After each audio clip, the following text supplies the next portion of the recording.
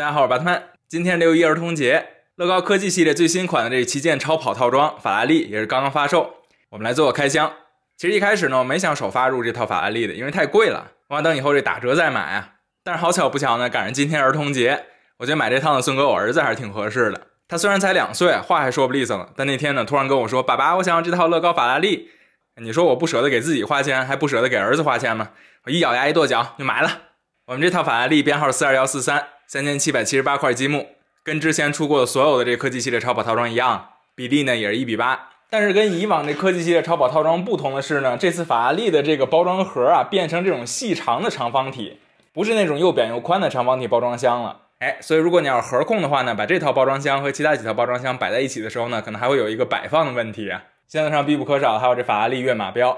来找一下这个外箱的这个封条在哪？在这儿。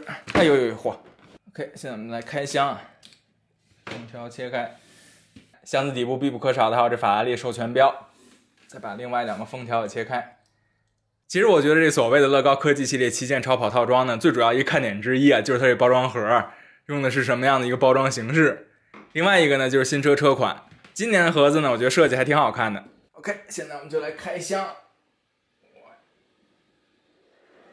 哇！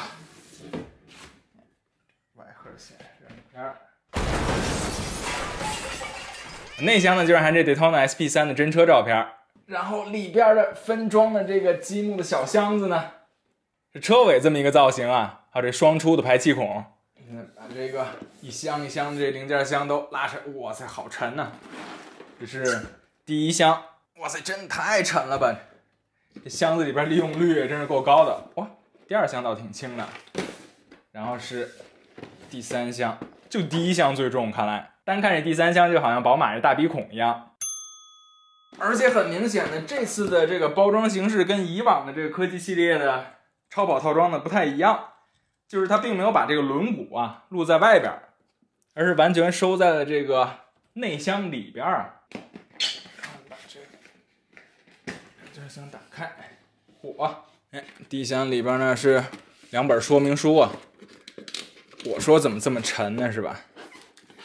有两本小字典，先放一边然后底下呢是一些这个科技系列零件所以说这第一箱沉，完全是因为里边有说明书啊，纸质品太多了。第二箱，这也是一些这个感觉是车壳的零件稍微多一些。看来这大轮毂呢就在第三箱里边了。我其实还是比较期待这大轮毂的，因为轮毂确实看着非常帅。哦，果然，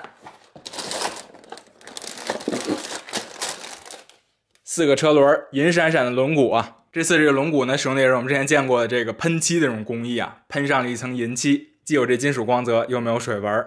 然后呢，哟，这真是一个不大不小的进化了。这辆法拉利的名牌呢，就是印上去的，不是贴纸了。我记以前乐高所有的这种大黑名牌上都是贴纸。而且这么说来呢，我们这一套法拉利呢，真的是一张贴纸都没有，是吧？哦，这是原车的介绍，确实很帅。虽然我对这辆 Daytona SP3 呢也不怎么了解，可以说知道这套乐高之前呢就没听说过这辆车。OK，今天我们做了一个简单开箱，下面呢就赶紧去拼了，尽快给大家发一期这详细动手玩视频，也欢迎大家关注我的频道，我是巴特曼，我们下期节目再见喽，拜拜。